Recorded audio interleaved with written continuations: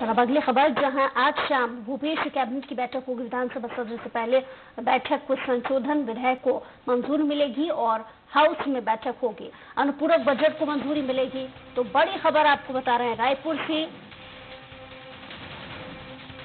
जहाँ कुछ संशोधन विधेयक को मंजूरी आज मिलेगी। अनुपूरक बजट को भी मंजूरी मिलेगी। सीएम हाउस में ये बैठक होगी।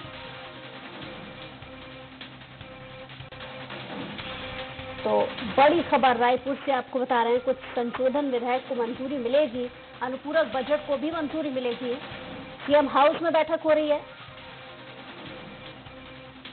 तो विधानसभा सत्र से पहले भूपेश बघेल की खास बैठक, जिसमें संशोधन विधेयक को मंजूरी मिल सकती है, अनुपूरक बजट को भी मंजूरी मिल सकती है।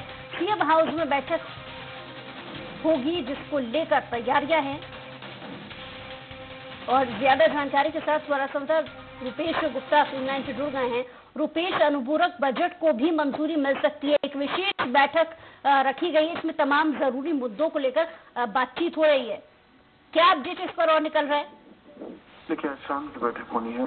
कैबिनेट की बैठक है, जिसमें विधानसभा सत्र जो कि कल से शुरू हो रहा है, उसको लेकर के चर्चा की जाएगी।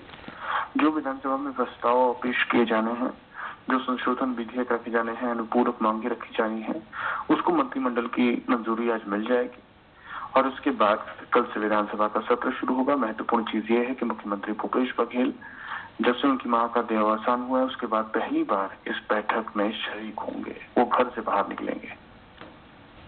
चलिए, बहुत शुक्रिया तमाम जानकारी के लिए, रुपेश।